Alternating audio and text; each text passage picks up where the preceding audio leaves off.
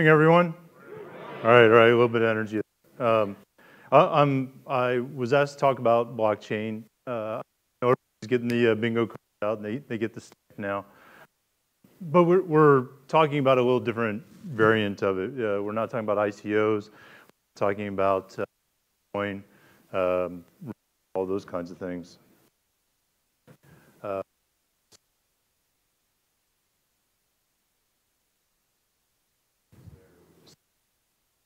Okay.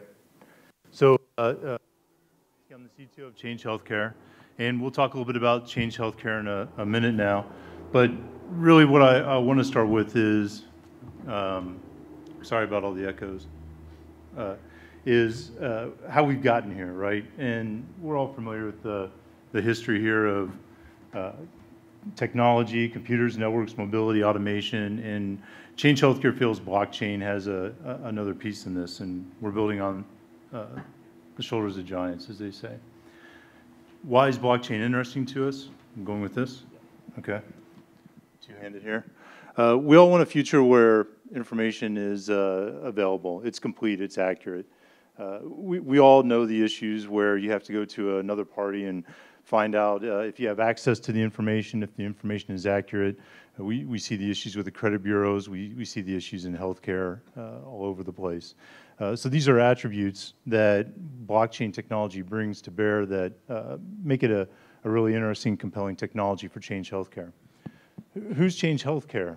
Uh, I'd be surprised if many people in the room here had heard of us.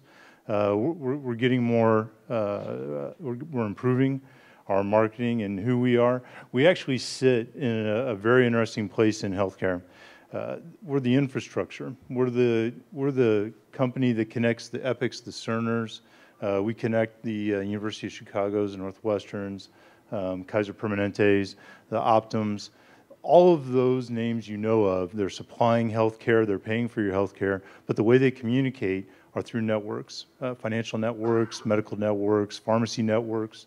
And that's what we provide. Uh, it's a company that has been uh, put together over several decades, and uh, we just uh, went through a, a, big merger last year. About 15,000 employees, two out of three claims in the U.S. are moving through our networks. Uh, 800,000 uh, providers, over 2,100 payers. So you can see we have an opportunity to be looking at technology and to be looking at the healthcare system in the U.S. in a very different way, uh, which we think we have. Hyperledger, uh, a Linux Foundation project, and Change Healthcare. As we have, were looking at blockchain technology over the last few years, we, we did a lot of internal discussions about it. We did internal proof of concepts. Uh, we started talking to vendors, and, and they wanted to do proof of concepts with us. But what we really uh, believe in is that blockchain requires a network, a network of participants. And what we saw was that uh, all these pieces were either coming together uh, or had already uh, started uh, being sorted out by different groups and in different ways. And so participating in the Hyperledger project really made a lot of sense for us. Um, protocol governance, consensus mechanisms, smart contracts, identity. When you think about healthcare, these are all very important uh, topics and very important pieces of the puzzle that we have to put together. Uh, trust is different in healthcare than it is in um, financial applications. I, I, spent a chunk of my career uh, building derivatives platforms globally, uh, and I understand those networks and that kind of scale. Healthcare, especially in the U.S., is very fragmented. Uh, what is identity? Who has the right to see a record? What portions of the record can you see?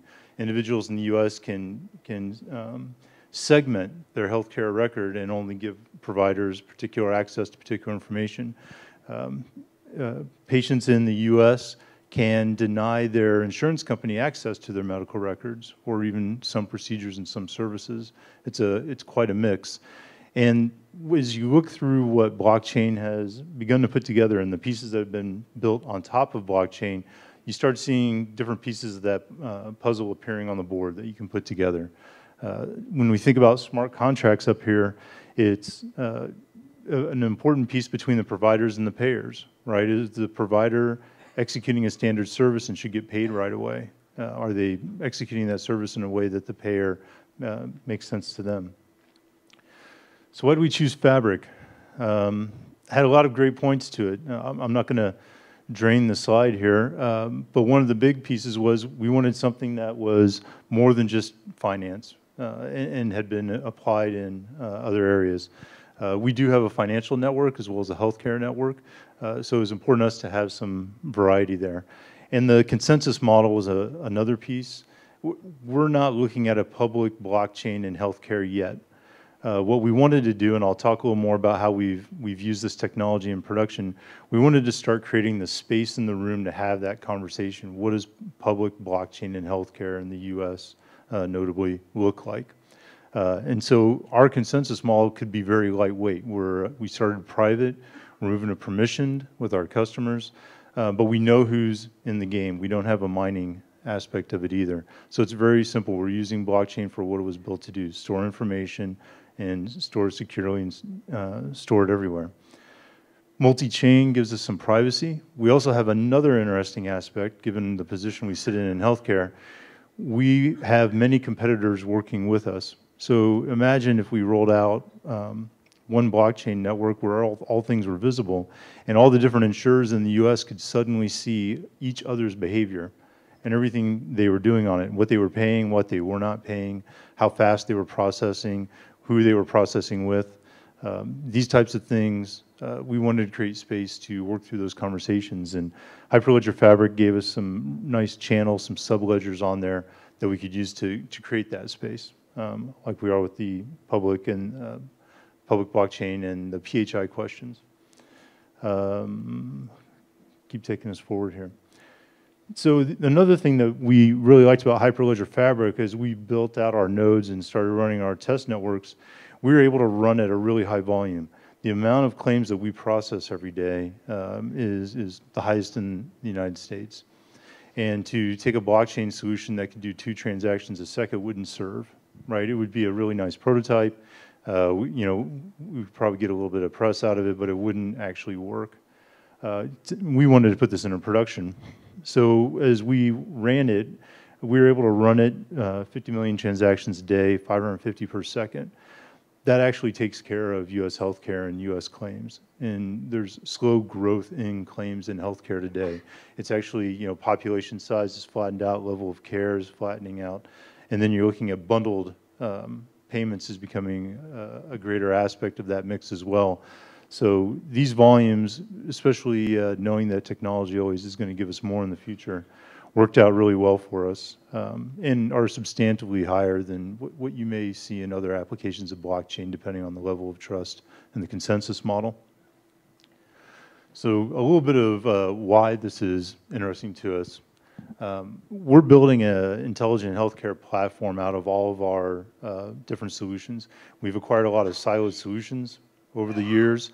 Uh, we have some great teams that are, are building serverless, building container, moving very quickly, bringing all these solutions together so our customers have a, a greater uh, experience with us, improve, they can do their jobs faster. And blockchain uh, brought us a lot of the pieces, um, claims network, data rights management, um, that really helped us with this mission. Um, so we, we took one of our products, I think it's here, yeah, Assurance Reimbursement Manager, uh, recently renamed. And you can see a claims network here where there's a payer, an insurance company, there's a uh, claim submission, a provider, your physician sitting there, and claims are moving, moving through the network. And what Change Healthcare does is we don't simply just store and forward a claim we add a lot of value on top of that. Both providers and payers are making edits to those claims. They're approving some of them quicker than others. There's a they're doing revenue cycle management on top of those claims. So there's a, that claim processing workflow that's happening inside also has many other products on top of it so that organizations in healthcare can run more effectively. And when you think about why why that's valuable, the less uh, your doctor spends on their back office, the more they can spend with you. The more time they can spend with you, the more their resources they can put towards your care. Um, and, and, that's what we're trying to enable. So we, we brought in Hyperledger Fabric, made it part of our claims network, and what we started doing was driving the events out of the claims network into that blockchain. Um, and again, we were using Hyperledger Fabric. Uh, we have channels enabled. And what the graph is also showing here is we're starting to take events that are occurring on the blockchain and having it drive our network. One of the other important aspects of what we're doing is we're, we're not building from scratch. We're not a, a startup saying, hey, well, I've got this really great idea for a healthcare uh, network that's built on blockchain. We're actually already processing two out of three of the claims, like I mentioned earlier. We, don't want to stop that and start all over again. We want to take that volume and evolve that network and evolve all the capabilities built on top of that network, leveraging the strengths of blockchain. So we, we've wedded them together. We put those capabilities into production. Uh, and it's been a really good experience internally. Uh, it took a couple of months. Uh, it didn't take man years. Uh, and uh, uh, working with Hyperledger Fabric was, was really easy and really direct. One of the, the reasons we thought this was an important step to take is we think blockchain technology can really change how healthcare operates, the business models operate. Um, Hyperledger was nice enough to put a, a, little blog I wrote up a couple weeks ago about how you have to really use the technology to start examining the different business models that can be created from it. And with the, um, when you look out at the, the variety of discussions that happen around blockchain in healthcare, there's a lot of hypotheses, there's a lot of possible uses, there's a lot of this is a great idea, someone should do it. And, and we wanted to step, step the conversation forward. And by really putting it in production, really putting it into production on a massive amount of data and assets and volume and activity, we're able to sit down with our customers who are thinking about using blockchain, who have people who are thinking about how that would change their organizations operationally and, and with their technology, and, and really sit down and say, all right, let's, let's do something. Let's take it. We'll give you a node, right? You'll be permissioned, and we'll take it forward with you and build these new models. What does a claim look like when the flow isn't linear, right? When the provider isn't handing it off to us, when we're performing our services on top of it, we hand it off to the payer and back and forth, and everyone's looking at the same claim at the same time. It's a, a, simple example, but it changes a lot of paradigms. It changes a lot of expectations. So we wanted to bring data, we wanted to bring real activity, and we brought it together in a way where our customers continue to use their existing systems and, and services to interact with us, whether it's through APIs, UIs, et cetera. Um, and they can start working with blockchain as well, and they're all working with one flow. They don't have to change how they um, are handling their patients today or handling their members uh, on the insurance side. This is showing the different different pieces of it, uh, medical review, eligibilities. I, have talked about a lot of what um, this slide is trying to relate already, and it, it's really the power of hooking all of this together as a network a one-off blockchain proof of concept is is simply a, an exercise, right? There's an, a lot of healthcare revenue cycle blockchain exercises out there. There's blockchain networks out there without any volume on them that um, people are trying to figure out how to use them. And we wanted to basically contribute our volume, contribute our data, and, and really push those conversations forward. We think uh, adoption will continue, and we think it'll come in phases so what we've uh, um, started with is at the very beginning, right? Node management. We're working on uh, smart contracts. I mentioned earlier, if if you break your arm, there's a standard procedure for breaking your arm, and if the payer and the provider both agree on what that is, there's no reason they shouldn't be paying that immediately, uh, moving that money, approving that claim. Patient could literally walk out knowing how much they have to pay rather than you know the bills and, and the chasing that goes on um, taking it up to uh, exchanging clinical data, uh, fraud detection, transaction auditing, uh, all the way through to uh, payments, uh, et cetera. We, we see a really nice path of using blockchain in healthcare. Uh, and again, we, we think this is something that's important to be open sourced. we, we looked at a lot of different private protocols, and they all had pros and cons. But when we thought about the, the broadness that we were looking for in adoption, uh, just in the U.S., right? You, you, recall those numbers from before, 2,100 payers, over 800,000 providers are just hooked into our network alone. Convincing them all to buy the same um, vendor's protocol stack um, would be very challenging. Um, sticking with open source, uh, not only leverages the great work that you know hundreds and thousands of people are doing, uh, but also makes that adoption easier, uh, really improving uh, the outcomes for the patients uh, at the end of the day. So um, I'll, I'll end here. We're, these are the types of solutions we're looking at Change Healthcare, again with blockchain. Um, uh, Hyperledger Fabric continues to show its, its strength in how we're using it. Um, integrated uh, applications, uh, a path, right? I spoke earlier about how we are, we're acknowledging that um, having a public blockchain for healthcare in the U.S. is a, is a long road to get there. Um, and rather than sitting down and having everyone try to figure out what that looks like and then build it, we want to start using blockchain in healthcare today. We have started using it today and create a space to have that conversation. What does PHI look like on the blockchain in a public sense? What does a pointer to where the PHI is stored on a public blockchain look like? How do you control access? What's identity look like? You know, Project Indy and some of these other pieces that are coming into play as well.